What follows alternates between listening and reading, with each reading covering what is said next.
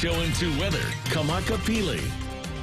You know, at this time of year, we're actually seeing drier conditions than normal. And the other plus that we've been seeing is we're actually seeing a lot more trade winds than we usually see at this time of year. So that's also a plus, which leads us for a plus tomorrow. It's going to be similar conditions. The only thing is a moderate condition for oceans on the east side as we still have a small craft advisory at least until tomorrow. That's for Hawaii Island and portions of Maui.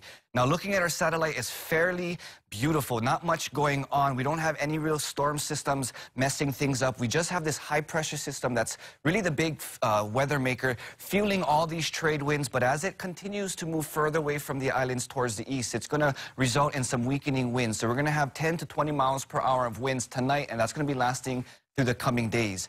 In terms of tomorrow, what we're going to be seeing, aside from the weakening of our winds, we have this disturbance passing north of the islands along with this cold front. So we're going to see more of a slight southeasterly flow to our trade winds starting tomorrow in through the new week.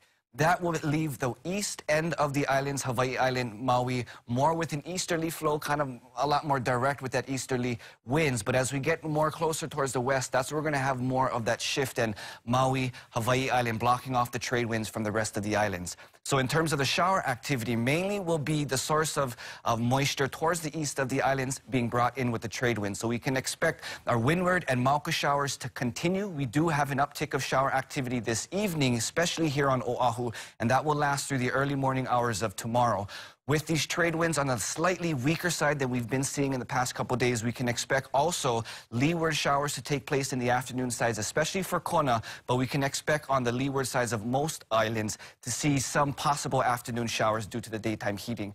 For Kauai is the island with the greatest chance of shower activity tomorrow. We're looking at 80 to 100% chance throughout the day with cloudy skies. But until then, we're really seeing, again, that uptick of shower activity. Not yet for Kauai. The main portion that we're seeing for the uh, uptick of showers is here on Oahu, and that's what we're going to be seeing, again, at least until tomorrow morning, and then drier conditions are coming. For oceans, 3 to 5, which would be the highest for south and east-facing shores, calmest for the opposite uh, west and north. Now, in terms of the upcoming days, we're going to be having beautiful conditions. The biggest thing to take note is our trade winds will be ramping up by the ending of this coming week to some breezy conditions, so it should be beautiful. Sam, I'll give it back to you.